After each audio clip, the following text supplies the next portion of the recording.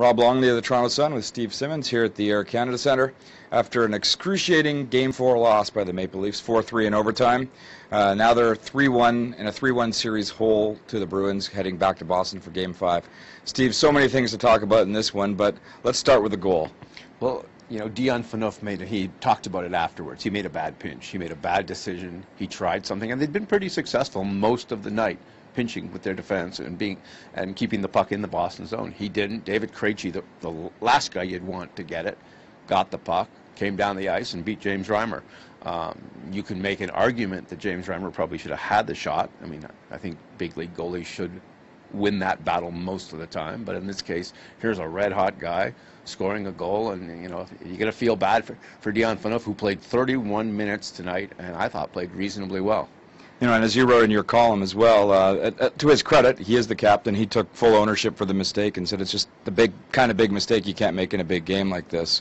Uh, we both were in listening to Joffrey Lupul, and he very, very resolutely said, "We're not done yet."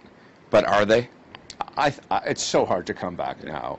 Um, I always look at players' faces after games like that. I like to walk around the room and sort of take the temperature of, of how people are.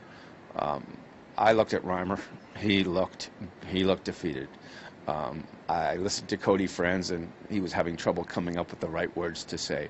Phaneuf um, proudly came out and, and you know did what he I guess you're supposed to do in that circumstance. It is so hard emotionally when you give everything you've got. And I think I think it was Randy Carlyle at the end of the game who, who said, you know, it's like being stabbed in the heart. And I think that's the hard part now. I can see the Leafs coming out Friday night with, with little emotion left. I don't know where you find it from now. Yeah, you know, they're a team that's been excellent all season in, in keeping their chin up and getting it back up. But this Bruins team on Friday is definitely going to smell blood. And young team like this, I don't know how they recover from it. But Steve and I are on our way to Boston with the rest of the crew to chronicle all the Game 5 stuff. But that's it for tonight. Uh, for the Toronto Sun, I'm Rob Longley with Steve Simmons.